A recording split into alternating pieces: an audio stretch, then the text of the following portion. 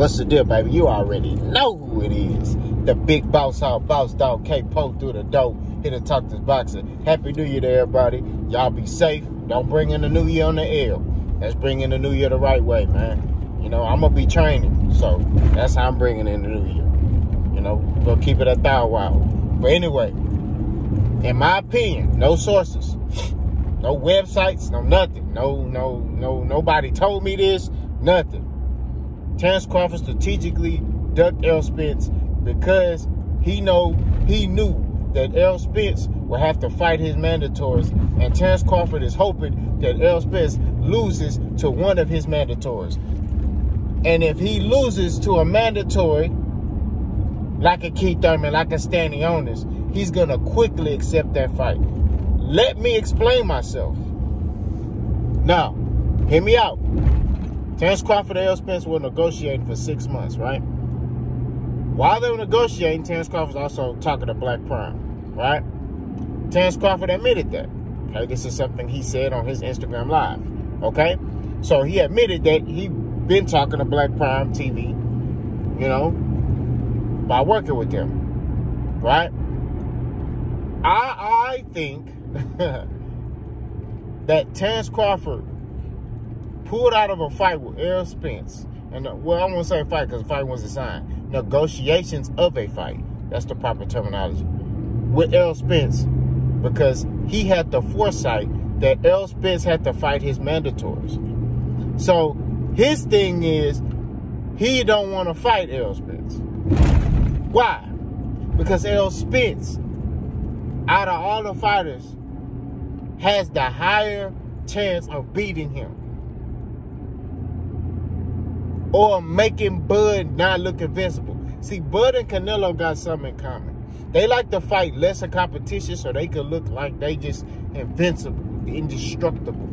You see what I'm saying? They don't want to fight against another top guy.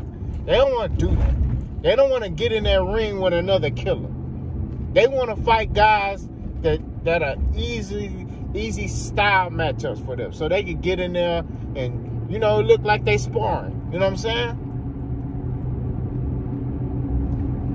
But that's what Bud is hoping. Bud is hoping that Errol Spence loses to one of his mandatories. Now, there's one mandatory that he is hoping that Errol Spence will lose to, but he's not going to fight him. And that's Jaron Boots Ennis. You may be asking, why, boss? Why? It doesn't make sense. Why would he not fight Boots Ennis? Why would he want Errol Spence to lose to Boots Ennis, but he won't fight him? Because it's easily, it's easy for him to articulate, I don't need to fight him. He young. It's easy for him to say that. He hasn't he hasn't fought those names in the sport.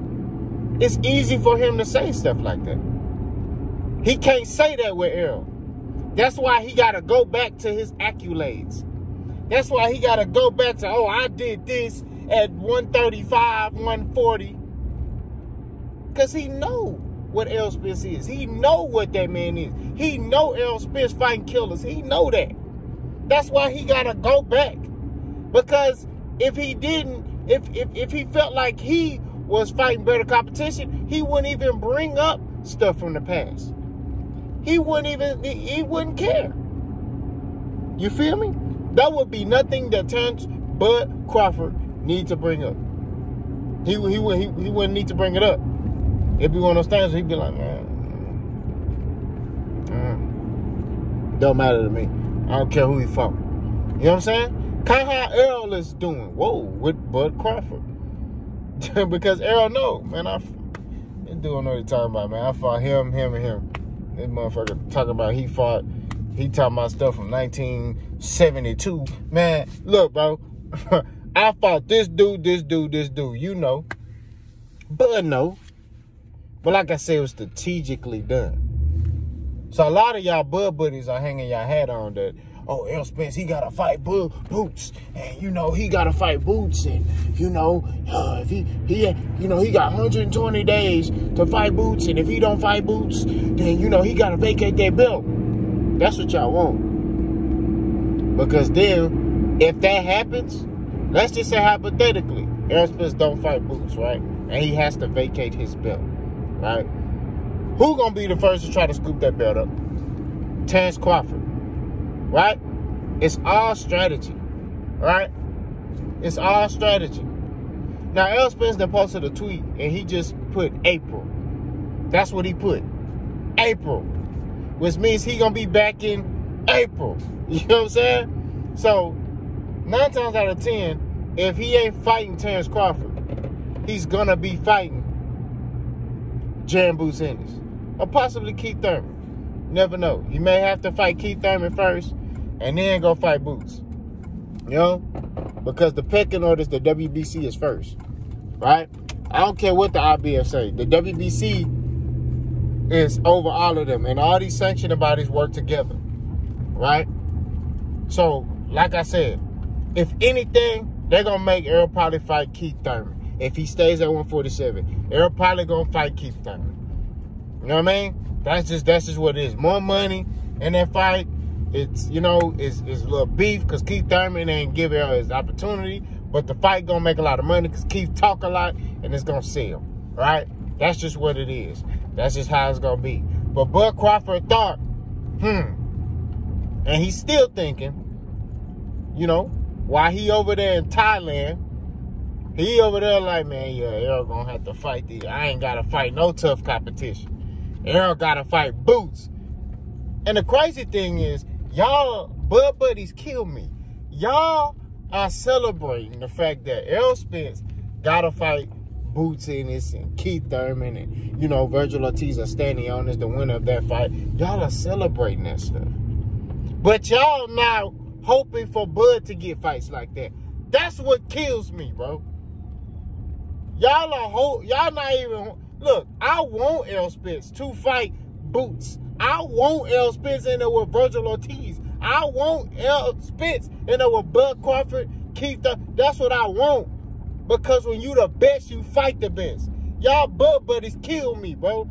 All of y'all sitting here talking about, oh, Errol Spence gotta fight Boots. And he, uh, you know, yeah, he gonna have to fight Boots. Okay, that's what I want him to do. I'm pretty sure he want that too. See, Errol Spence ain't running from no smoke. He not looking back and like, oh, I'm gonna fight. Uh, I'm gonna go back there and fight. Uh, you know, he he ain't doing that. He fighting dogs. He fighting killers. That's what it is. That's what he doing. You know what I'm saying? He getting in there with the next. If you claim you're a top fighter, they don't want to be in there with you. You see what I'm saying? But L trying to become undisputed. He looking at who got a belt. And Terence Crawford got that other damn belt. You feel me? But like I said before, we'll see if Terence Crawford wants to come to the table and get in that damn ring and fight. We'll see if this man really wants smoke. You know what I mean? That's what it is. We're not here to cause confusion. We're not here to cause confusion. We're not here to, you know, play games. We're not here to, you know, run our mouth. We ain't doing that.